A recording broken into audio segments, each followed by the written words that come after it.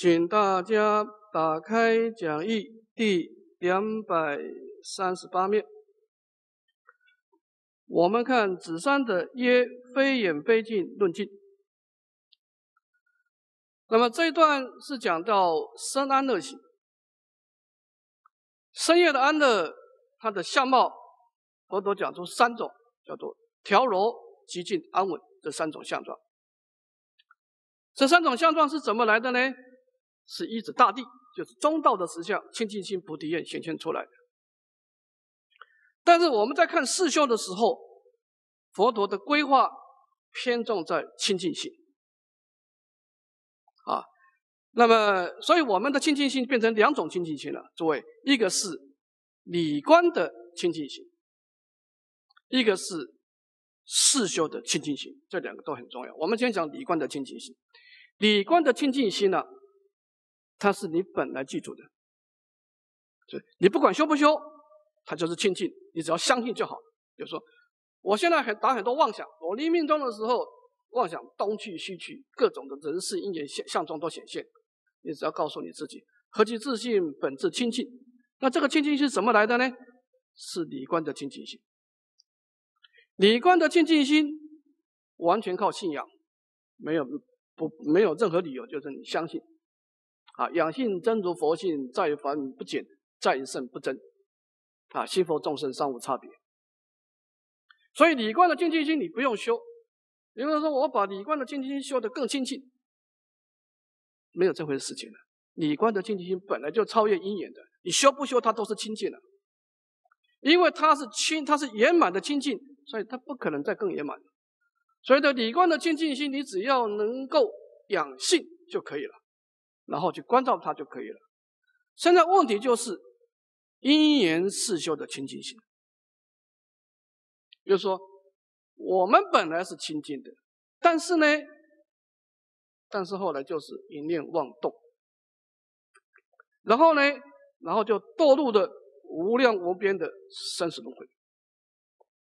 到了现在，开始认真的修学佛法，那怎么办呢？因为这个这个房子本来是干净的，但是现在不干净的。那你这个里面内心不清净，这么多的颠倒想，你不可能马上去庄严这念心嘛？你一定要先把房子、垃圾先清干净，再去装修吧。所以为什么破妄永远是走在第一步？啊，就是说，诸位，理论上我们是清净，但是因缘上我们已经不清净了。不清净了，为什么？因为我们经历过太多的生命，每一个生命都留下我们很多的影像，留下影像也没有错，但是问题是我们把它取着，今生抓几个影像，哪一生抓的几个影像？时至今日，我们心中已经很多很多的颠倒像，这些颠倒像，你如果不清净、不清掉，你就直接的去修功德。发愿去修功德，因为你这个心是不清净，所以你所修的功德都是染污。所以为什么佛陀在修观慧的时候，他不强调假观？假观后面会强调口业、意业，它是后半段修行。他面对深夜的时候，佛陀一路走来就是修空观，空掉你的执取。你不可能空掉影像的，诸位，你这个，所以你修行，你只要方向错了，你今生就没有成就了。你空掉影像，你就跟你过去的因缘法对峙，就是无量劫来的影像太太多了，你怎么会空得掉呢？就是不随妄转，懂吗？影像来，他来他的；影像走，他走他的。你只要修一个无助，把你的攀岩心，把你的爱举心。消灭掉就好。其实影像不会干扰你的，你是一个真主的心，它是一个生命的影像，它怎么就干扰你呢？因为我们攀岩它，我们去自心起自信，所以我们自己去干扰自己。所以你只要把影像放下，它自己会脱落，自己会消失掉啊。所以诸位，我们在修空观对视的，一定要知道你到底是想空掉什么。这个地方你只要一步错，你整个修行全部失败。你想空掉影像，那表示你要挑战你无量的生命所留下来的影像，你怎么是？你怎么可能呢？没有一个人可以修到业尽晴空的。我们都是怎么样带业往生嘛？那么业力跟影像是有牵动的，我们待会会说明啊，就是你只要无助，让影像自然脱落就可以了啊。所以他这个观力戒法空如实相不颠倒啊，不动不退不转，如虚空无所有性。这段你最好把它背起来啊，就是整个空掉心中的爱举的过程啊。那么空掉以后，我们看别名它的一个果地的相状。这以下有五段。第一个，一切语言道断。当你的心中那种攀岩的爱情被空观给破坏以后啊，你会发觉啊，你心中的话变少了。不是外面说话，就是那个名言分别。你以前可能攀岩心很重，你看到什么东西，哇，这个画很漂亮，是哪里买的？就是你以前会，只要看到一个影像，就很多很多名言出来。那么你能够经常修空光，你会发觉啊，你看到花那样就是那样，就是一切法就是一个如实相而已。你不会很多的名言去诠释它啊，就是一切语言道断，这是第一个相状。第二个不生不出不起，不生指的是过去的心，不出指的是未来的心，不起是现在的心。一般是这样子啊，这三种心啊，就《金刚经》说的，过去心不可得，现在心不可得，未来心不可得啊。我们年轻人呢，喜欢打未来的妄想，喜欢打，喜欢执着未来的心啊。年纪大刚好相反，年纪大都是 开始回忆过去了，回忆过去了，因为你的未来已经是夕阳西下了啊。所以，我们当你修空观以后啊，你会发觉。过去的影像升起的时候，因为你无助，它自然退失啊。未来的影像升起的时候也退失，包括现在的因缘也是不起任何的执取啊。所以我们的心变成怎么样？无名无相，实无所有。无名就是没有名言的分别，而且那个相状也慢慢脱离，心中变成什么样？实无所有，无所得啊。无所得呢？禅宗有句话讲得好，他说：“这个叫做空空荡荡。”但是呢，了了分明。你把这两句话放在一起就知道啊，它不是王空，它是空空荡荡，但是又了了分明啊。所以这个时候你的心是无量无边，超越时空啊。无量是指时间相，无边是超越一切的空间啊。所以你的心慢慢慢慢从一种生灭的因缘心，慢慢的趋向于超越时空的真如心了。你往真如心慢慢一步一步的扩进啊，从四修的清净心，慢慢慢慢的随顺于理观的清净性啊，无碍无障，周遍法界啊，没有障碍啊。那么到这个地方，等于是把整个修空观离相的五种功德讲出来，最后总结。那么我们的颠倒相是怎么来的呢？但你因缘有，从颠倒生，因缘有就是业力了啊，颠倒生就是我们心中的。取着分别啊，故说常要观如是法相。我们经常能够观如是的空性的智慧，来消灭心中的爱取啊。四弥菩萨摩萨第二清净处，这个就是清净处。前面第一个叫做行处，就理观，这是四修啊。这个我们有需要对我们的颠倒想啊做一个说明啊，因为这是我们要面对的空观所要消灭的颠倒想啊。颠倒想来自于两个重点，第一个因缘有，就是你的业力，你过去生所造的善恶业啊，它就有些东西啊会在你的生命出现啊。第二个呢，颠倒生你的取着，本来这个业力它出现以后，业力本来是生灭的嘛，你本来造业、造罪业、造善业都是有一定的时段嘛。但是为什么这个相状进去以后，在你的心中挥之不去，变成你生生世世的个性呢？因为你把它抓住了，取向分别了，啊，所以颠倒想是两个东西的合合体，一个是业力，一个是妄想。那么佛法的态度是不碰业力，要记住，啊，外道啊是喜欢去消灭业力，说修苦恨啊，修禅定啊，去逃避业力，这不可能的事情。诸位，我们造无量劫来所造的罪业啊，那是无量无边的，尽虚空不能容受。那如果这样子的话，怎么可能往生呢？怎么可能成佛呢？因为我们佛法不要去碰这个业力，我们碰妄想，这是佛法最高明的地方。心若灭时，罪亦亡。因为你一开始挑战业力，你自己就是基于弱势了。你怎么可以业力可以挑战呢？当然，我们不断的忏悔，只是降低业力的势力啊。真正的修观是怎么样？因为业力跟妄想，它这两个只要一个没有，另外一个就没有作用。所以佛法的厉害地方，高明的巧妙地方，佛法是消我欲结，颠倒想，不利真起佛法身。你把颠倒。颠倒的爱取拿掉，这个业力就没有力量，它自己会沉淀下来。所以那么现在现在就有个问题啊，那这个爱取是怎么产生的？我们前面说过，跟生命经验有关系。生命经验第一个是感受，我们一般呢一生当中会有一些很特殊的感受，会有几个特别快乐的感受，或者特别痛苦的感受。也就是说，我们。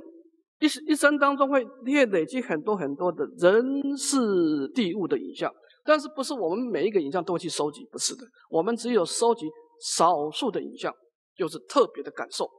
比方说，我们从小很贫穷，就因为贫穷的关系，这贫穷本来是一个业力，它本来没有好坏的，所以果报不论好坏，只论苦乐啊，本来没有什么对错啊。贫穷就是你过去没有布施嘛。但是这种贫穷的果报会有什么后遗症呢？会让你产生痛苦，产生痛苦，你就会产生颠倒。就我就是因为贫穷，所以我很多理想包括不能实现。等到你长大有钱以后啊，你对钱就特别执着。为什么？因为这种感受来的啊，因为感受会刺激想象，想象以后你就会执取啊。所以我们一般的问题就是怎么样，跟着感觉走。就是或者某一个东西给你痛苦，然后你对这个东西就特别排斥啊，所以我们整个生死的轮回啊，来自于爱取，爱取就是来自于我们对生命经验的感受产生想象，最后时间久了就就抓住不放，从此以后就挥之不去，变成我们内心的性格倾向。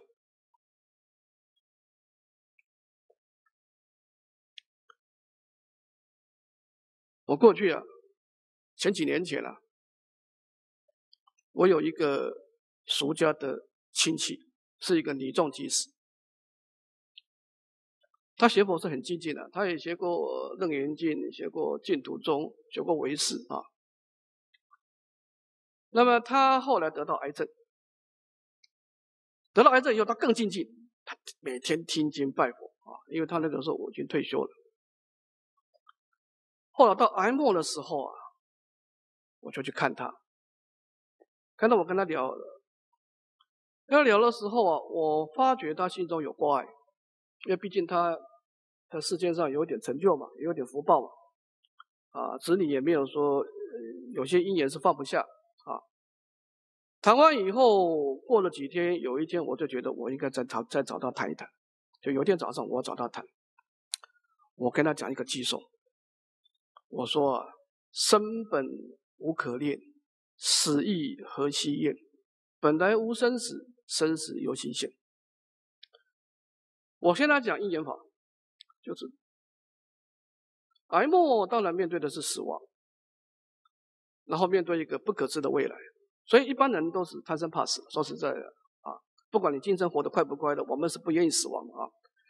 但是你要破他这种对今生的爱取啊！你要讲说，其实生命不是我们想象那么快乐，人生本来是在还债的嘛，一片苦海，所以生本无可恋，死亡你只要不贪生，你对死亡就不需要害怕。这是一种对立的，因为我们认为我们会假设认为今生是快乐的，所以我们不想去面对来生。你怎么知道来生不会比今生更快乐呢？呃，你你你一个破旧的房子可能会面对来生变得更好的房子啊。所以生本无可恋，死亦何其厌。然后这个第二句话很重要，离观了。本来无生死，生死由其心，把它拉到我们最原始的清净心。其实我们本来就没有生死，所以你也没有失掉什么。比如说我失掉了生命，其实你从你清净心来说，你从来没有生命，所以你也就没有失去。当然我讲了很多了，我大概跟他讲大概将近两个小时，就扣了这四句经。讲完以后，大概中午我离开，到晚上他就往生了。就是一个人，他拖着不走，你就知道他心中一定有东西抓住了。仁者心中必有一物，啊，就是临终的正念呢，其实就是你自己在干扰自己。就是说，即便你有准备，就是。癌症其实是往生最好的机会。一个人要往生，癌，因为你太多时间准备了。你，你，你可以知道你什么时候死，你这个整个死亡的规划，你都是可以做准备的。但是你还是放不下。那么怎么办呢？你就是靠姻缘观跟理观嘛，啊，所以诸位，你临命中如果你不修，你不清楚你心中的地雷啊，我跟你讲。你佛号建的再好都没有用，你只要触动地雷，你就整个爆炸。就是说，我们不要讲前生啊，太遥远。就你今生一路走来，你碰到很多的人，你遇到很多的事，有些事情可能对你来说你根本就不在乎，它就消失了。但是你一个正常人，你到晚年一定有些人跟事你在心中挥之不去的，把它找出来。你用这个观，观一切法空如实相，不颠倒，不动，不退，不转，犹如虚空，无所有性。你要在死亡来之前把这个地雷给消灭掉，因为它里面中一定会出现。因为你经常的，就是说，你发觉到，尤其到年纪大就很明显，你经常去意念某一个人、一件某件事情，你就有心理准备了。这就是你临终的挂已经出现了啊。你要趁有生之年，赶快把心中的地雷拔掉，啊，否则你在临终的时候，你就是业力推着你走，但是你不想走，为什么不想走？因为你心中留恋你的娑婆世界，所以我们说厌离娑婆，其实谁在乎外在的娑婆世界？我们在乎是我们心中所执着的某一个人是那个娑婆世界，你就是执着那个东西。然后就把你今生所有念佛的佛号全部破坏掉，一个影像就够了，前功尽弃啊！所以在这个空观是很重要，就是怎么样？你一定要有理观的清净心，你还有世修的清净，有一定的调伏力啊。然后你这样子做呢，你只要临终只要十句十十念佛号，十句佛号就够了，十句佛号就够了，因为你心中的。颠倒想一放下，阿弥陀佛光明就自然照进来了，十念往生就够了啊！但是你今天抓住妄想不放，阿弥陀佛哪里一点办法都没有？因为你把门给关起来啊！所以这个地方常要观如是相，是名菩萨摩诃萨第二清净处啊！观察空性，把心的透过调伏，慢慢的回归到清净啊！这是很重要的观念啊！好，我们看新二的重诵。重诵分二，任一诵总标。看经文。尔时世尊欲重宣此意，而说偈言：若有菩萨于后恶世，无不畏心，欲说是经，应入行处及亲近处。那么本经的修学空观。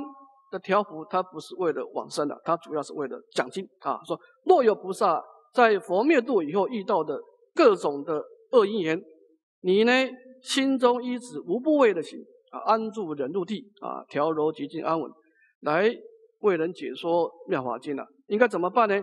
应该修行处，就理观。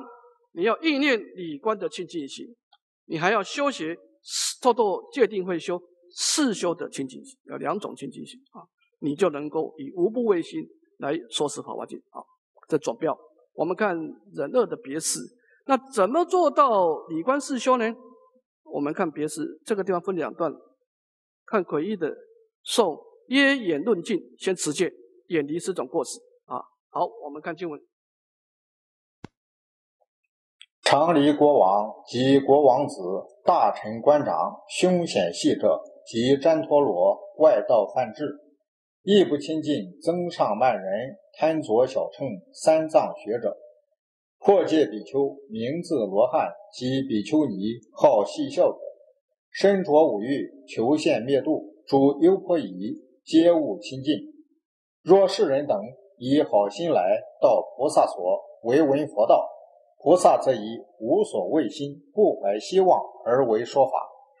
寡女、处女及诸不男，皆勿亲近，以为亲厚。亦莫亲近徒儿魁快，田猎于捕，为利杀害，贩肉自活，炫卖女色。如是之人，皆勿亲近。凶险相扑，种种嬉戏，诸淫女等，尽勿亲近。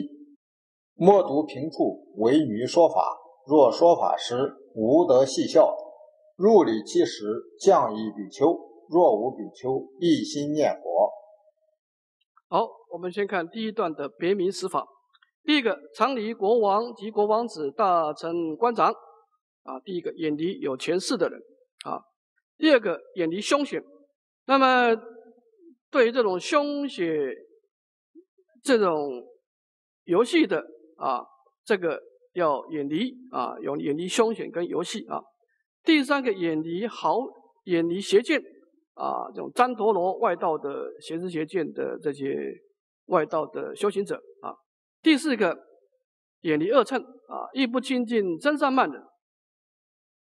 恶乘人的特点啊，就是法执特别重啊，而且他对这种空性的执着特别特别厉害，所以他容易得得少为主啊。那么普。你你跟他在一起的恶测人，他是属于少事少业少发变主啊，他只是追求空性的涅槃。那菩萨是法门无量誓愿学啊，他是这两个思想是抵触的，所以佛陀要我们不要去靠近他们啊。即贪着小乘三藏学者啊，那么贪着小乘呢，就是他虽然能够广学多闻学。学习一些三正的教法、三藏的教法，但是这个人一般来说，这个学者是没有信心的，啊，他只有理论，没有性根的啊，或者是破戒比丘名字罗汉啊，或者是毁破是根本重戒的啊，无惭无愧的，或者名字罗汉啊，他自己认为是罗汉，其实他只是一个一般的凡夫啊。第五个是远离放逸，即比丘尼好嬉笑者啊，有些人是。喜欢攀岩心重的，或者身着五欲求限度者，这个地方指的是居士了啊，就是有些人贪着世间的五欲，有些人是一一一心一度一一意的追求偏空涅槃啊，这种极端的在家居士都不能清净啊。那么，如果这些人来以好心、真诚的心来求法，那么到菩萨所未闻佛道，他要你请大乘法门。菩萨则以无所畏心、不怀希望而为说法啊，就是说，你可以给他说法，但是你平常跟他不能把它当做同参道友，不能亲近啊。第六个，远离欲染，寡女、寡女、处女及诸不男，皆勿亲近，以为亲厚啊。就远离这些欲染的情况。第七个，远离非气啊，亦莫亲近这种杀生的。啊，或者是卖肉的，或者是淫女如是之人，都是烦恼出众，不能靠近，非气。第八个，远离恶业的，啊，从事凶险相扑的、演戏的，或者捉淫女等，啊，这种也是要远离。第九，远离畸形，不要单独在隐蔽处为女众说法，啊，要有第三者在，以免畸形。啊，那么在说法的时候，也不能用轻慢的心来说法，啊。这是远离畸形。第十个，远离危害。那么，如果我们今天要到村庄去乞食，要带一个随从的比丘啊。如果没有比丘的话，要一心念佛，保持正念啊，远离危害啊。这是前面说过的啊，只是简单的复习一下。好看第二段，是则名为行处尽处，以此二处能安乐说。那么这一段是结识二处啊，就是前面的十个法是一指，它的目的是为了什么呢？为了成就理观四修来安立的啊。所以我们前面说过，菩萨的戒法都是为了此观来做准备的啊，远离攀岩，远离各种的过失啊。好，那么这是前方便，这一下讲真正的此观，在下一段癸二送非远非近啊，就这个智慧的观察是观内心啊，内心的没有眼镜的啊。那么这个地方有两段，先看总标，先看总标二处，再看别名近处。先看总标，看经文。右腹不行，上中下法，有为无为，实不实法。亦不分别，是男是女，不得诸法，不知不见，是则名为菩萨行处。一切诸法空无所有，无有常住，亦无起灭，是名智者所亲近处。这个理观跟世修，我们前面讲了很多了啊，就是理观观的是真如的心，是圆满的心，它不能有任何对立的啊。世修，它就是要对立，它要对峙的啊。所以从理观的角度呢，右腹不行上中下法，不行就是不安住，不安住在上就是菩萨法，中就是这个圆觉法，下就是身分法，就是三正的教法是可以当做世修的对峙的方便，但是从理观的安住来说是不可以当安住的。因为什么呢？因为它有对立啊，三乘的教法都是对立的啊，空有的对立啊，所以我们不住在这种三乘的教法，就能够不执着有违法啊，这个人天的福报啊等等，无违法的偏空的涅槃，也可以远离实法跟不实法。这个实法指的是空性，不实法是缘起的生灭法啊，而且又能够远离男相女相。的心中呢，对于一切法是不可得，而且不知不见，远离六根的分别啊。这个不知不见是代表，其实是六根的见闻嗅尝觉知，并且六根的分别啊。那么是者名为菩萨行处。菩萨行处，它是一种信仰，它不是修来啊。说。内心本来清净，这是本来就清净的，所以这个清净自然离相，就当做我们的安住处。但是我们当我们面对现实，要调伏我们如梦如幻的妄想的时候，那就靠实修了啊！看实修怎么修。一切诸法空无所有，一切诸法产生的影像，我们一定要空掉我们对它的执着啊！所以执着什么呢？不要执着一种啊常住相。啊，无为的常住相，也不要执着凡夫的有为的起灭相，啊，远离恶正的涅盘的执着，远离凡夫的生灭的因缘的执着，是名智者所清清楚。啊，这里个总标，把理观四修讲清楚。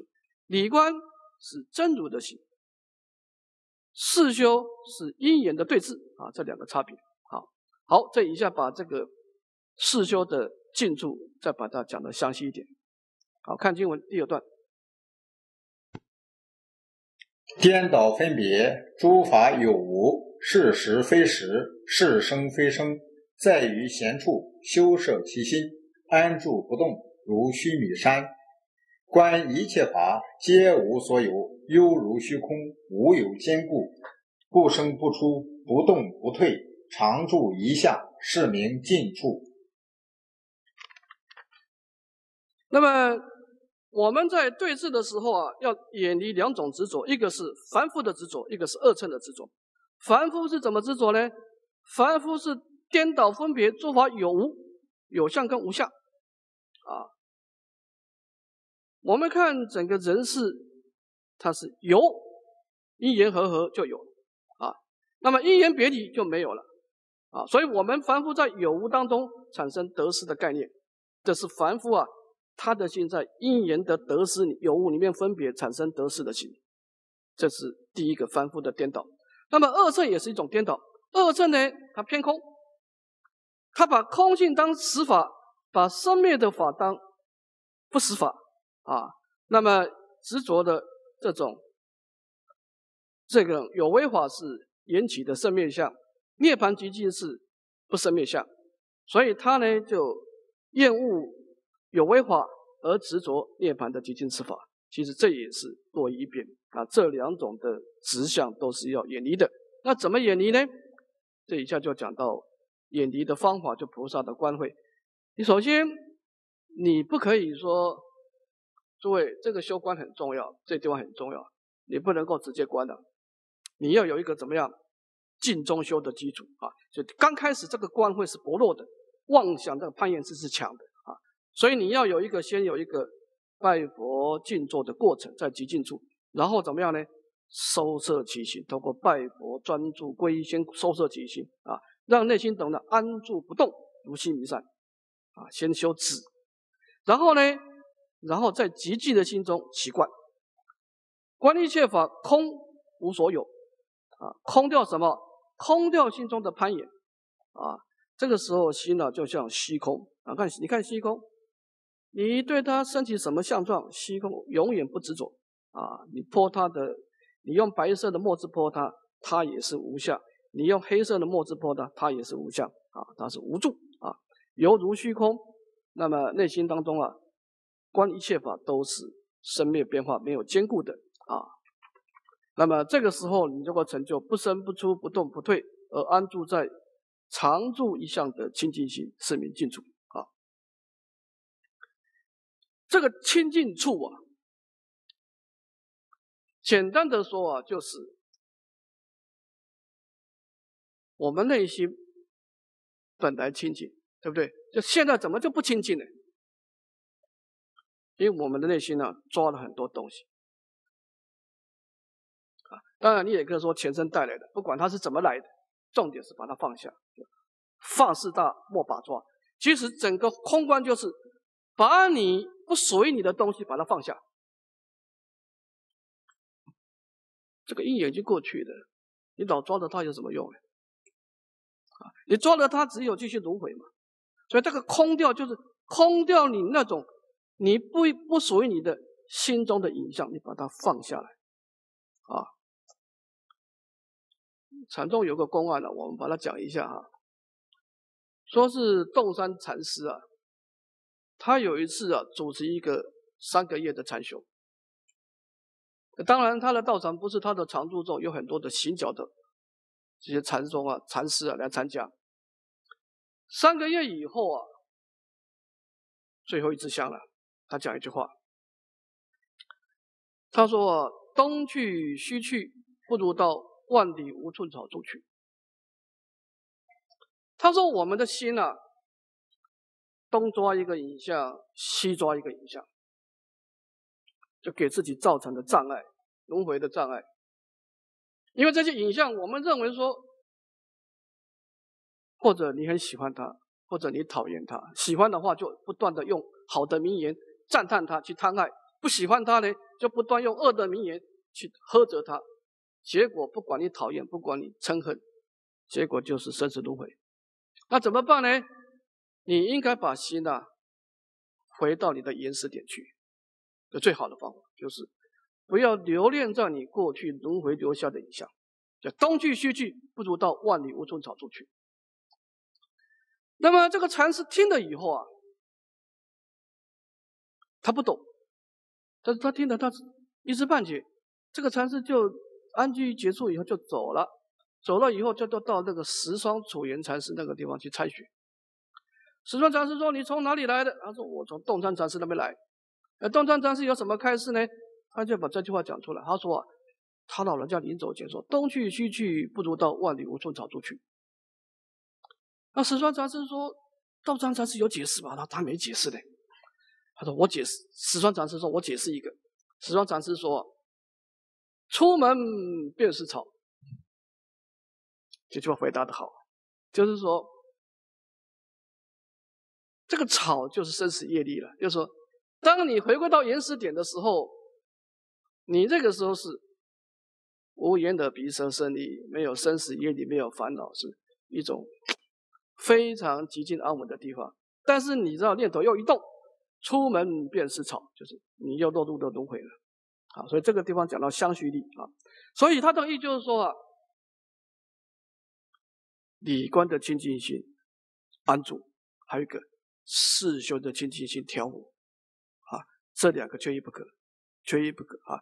你要就是说，如果你你没有理观，你只是一路路修，你不会相信你会清净的，你不相信你也你你本来清净的，啊，那你只有理观，你相信你本来清净。结果你不去调伏，弄得你心中心有千千结，结果你还是做不了主啊！所以，第一个你相信你清净，第二个你努力的去修学，往清净的方向去前进，就这两个是两个都需要啊。好，我们看忍山的受形成，这地方有三段，先看第一段，看经文：若有比丘于我灭后。入世行处及亲近处，说思经时无有怯弱。那么这一段是说明生修学生业的因相啊，生安乐行，它所表达的是调柔极静安稳，这是一种生业的安乐啊。这个相状怎么来的呢？就是若有比丘在我灭后，能够入于行住及亲近处，他能够修理观，不断的告诉你自己。我的内心本来清净。第二个修四修，用空观调伏心中的爱取。那么你这样子来说《法华经》的时候啊，你的心就没有怯弱，就很坚定啊。这是第一个叫因相，两种因相。第二个，我们看形成安乐的果相，看经文：菩萨有时入于净室，以正意念随意观法。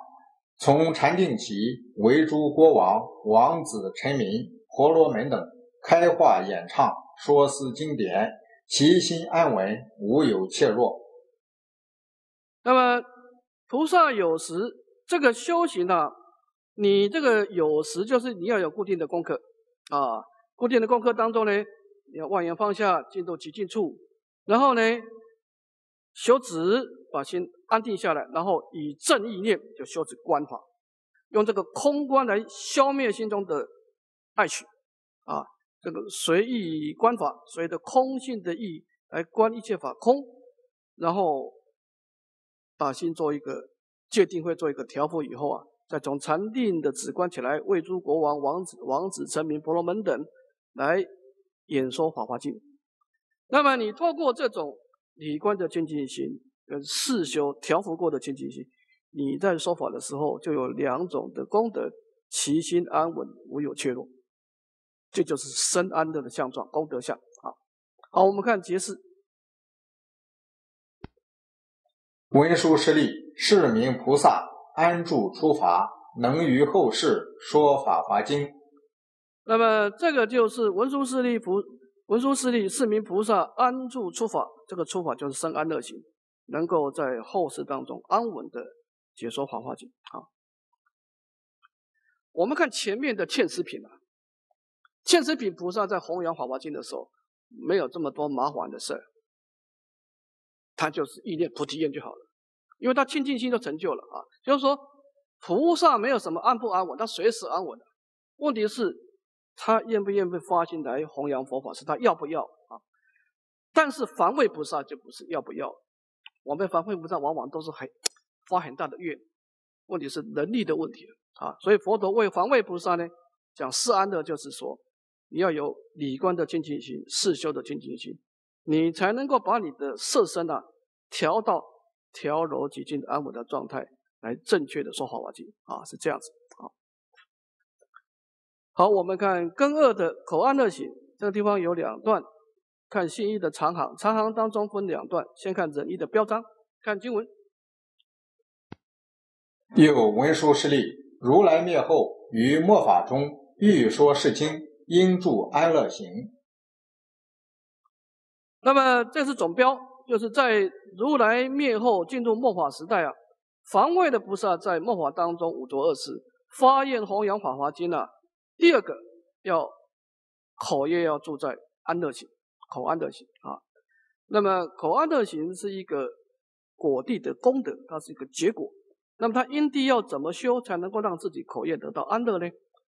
看忍恶的刑法，讲到修行的方法。刑法有止刑跟观刑啊，先看止刑。若口宣说，若读经史，不要说人及经典过，亦不轻慢诸于法师，不说他人好恶长短，与声闻人亦不称名说其过恶，亦不称名赞叹其美，又亦不生怨嫌之心。那么前面的深深深夜的过失要远离十种过失，这以下呢口业要远离四种过失。第一个不说过。啊就是我们在讲经的也好，私底下也好，不要说人及经典的过。第一个，我们批评某某人啊，说这个人他说过什么话，做过什么事啊，有些人就喜欢批评人跟事啊。那么这有什么缺点呢？维大师说：“人虽有过，与我何干呢？”啊，说喜谈人过，如羊粪秽，自心心他，自大忌损。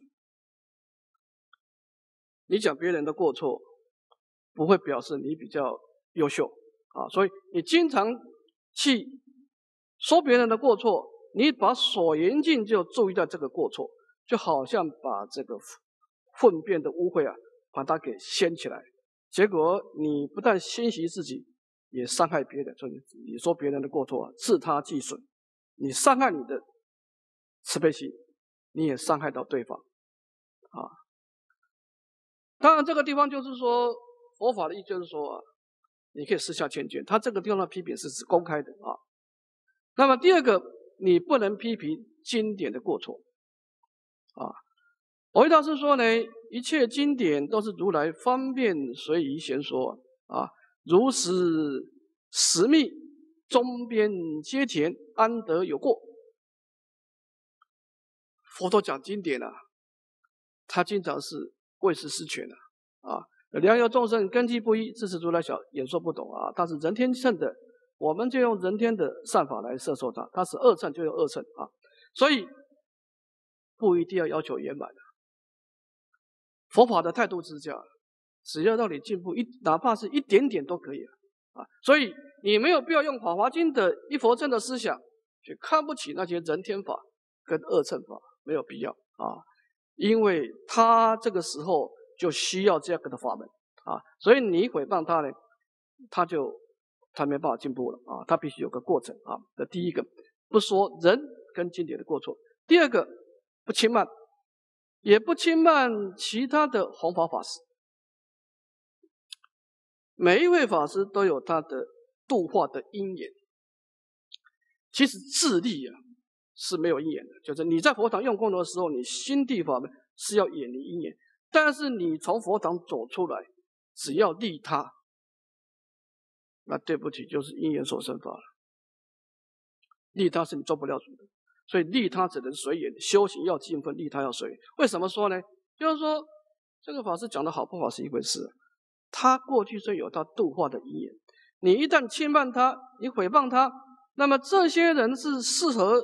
他得度的结果，你毁谤这个法师，你把这些本来要依他得度的这些居士的善根给破坏，所以不能轻慢其他法师啊。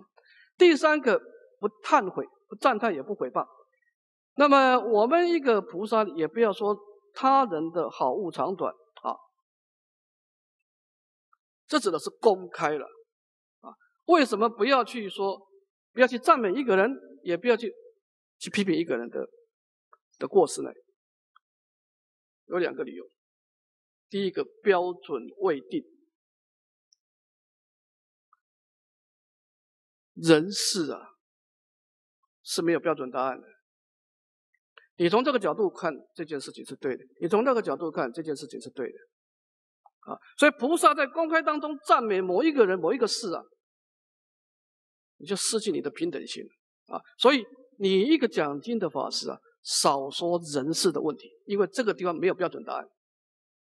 第二个，发心不明，你怎么知道他心里是怎么想？他这样做有他的用心，有他一时的方便啊。所以，我们不要公开的去赞美某一个人、某一件事，也不要公开的去批评某一个人、某一个事的过失啊，因为标准难定，第二个发心难明啊。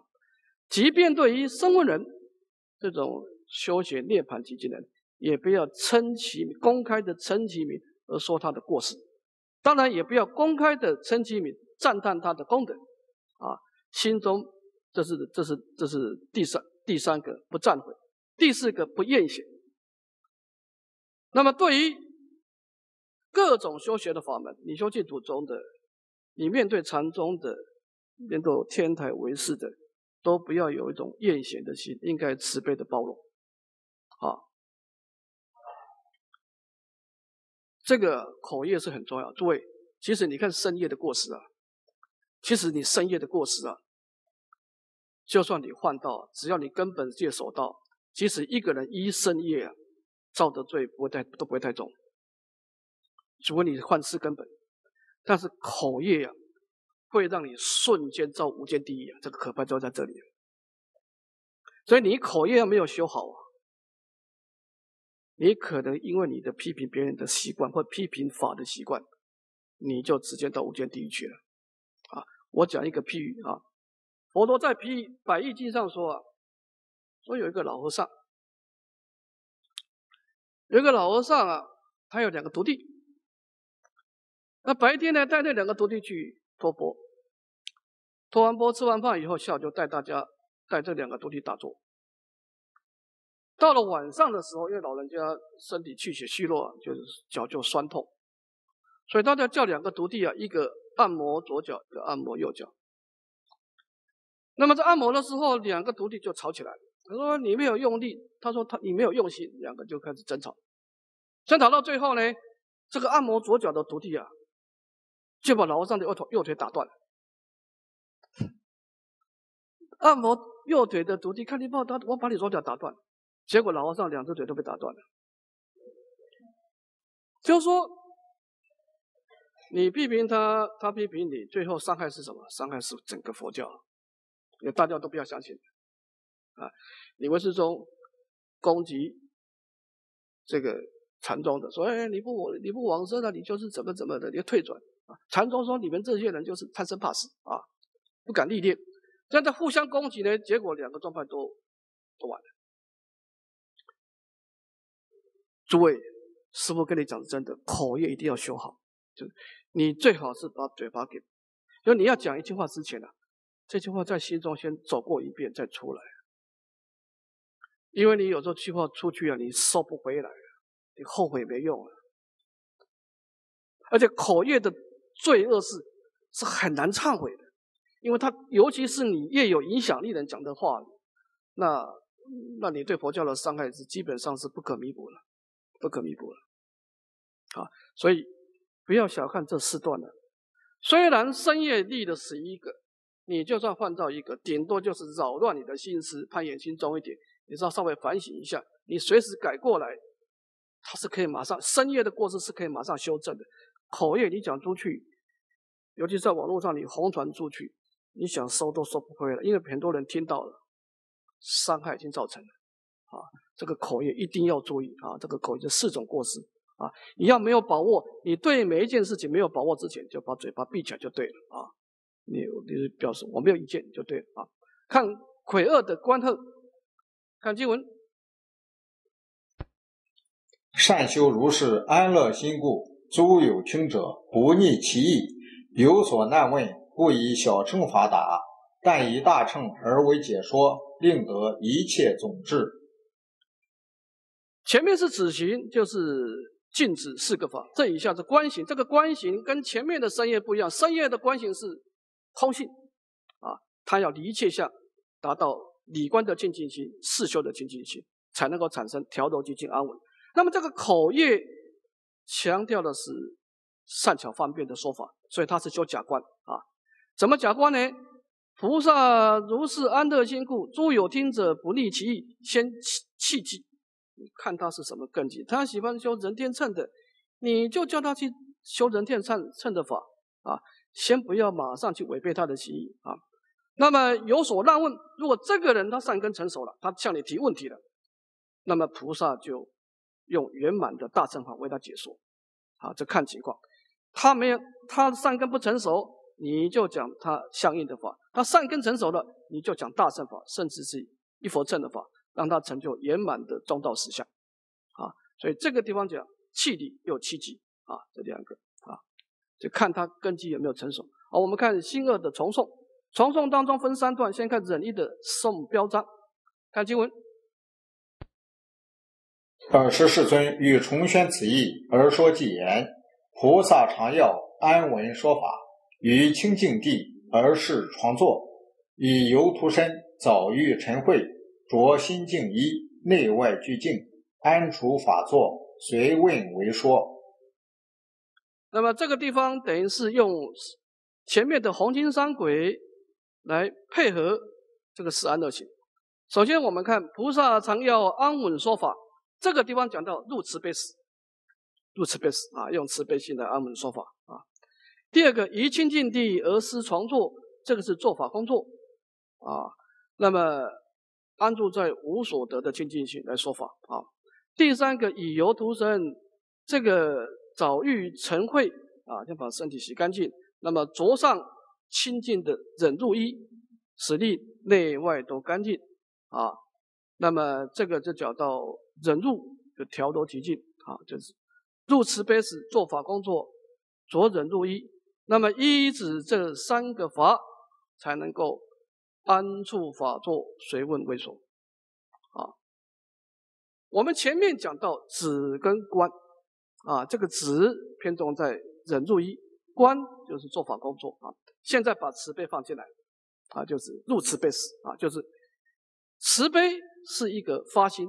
啊，那透过慈悲的发心，然后呢，修学止观，达到调柔极静，最后才正确的说法啊。说这个把这个，我们前面说过，止观慈悲啊，是整个四安乐行的三个法门。那配合红金三轨啊，就这个情况。好，好，我们今天先上到这，讲到口安乐行的总总标。